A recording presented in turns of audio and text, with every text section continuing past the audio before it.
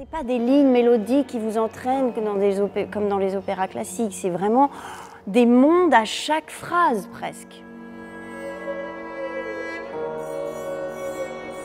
J'ai découvert la liberté de Mélisande en fait. Qu'on peut croire que c'est une femme euh, oppressée, sous le joug de l'époque. Mais en fait, je découvre qu'elle a une liberté euh, pas du tout conventionnelle. C'est une femme euh, libre. On a choisi quatre instruments L'harpe, bien sûr, amène euh, voilà, le, côté, euh, la magie, le conte, la féerie, etc. L'accordéon, on va dire le, souffle, qui va traduire le souffle et dynamique de l'ensemble des, cordes. Le violoncelle, le, lyrisme. Et peut-être les percussions, voilà, ce côté euh, plus matiéré. Dans Péléas et Mélisande, ce n'est pas tellement l'histoire d'amour qui nous intéresse, mais c'est plutôt le chemin de cette femme.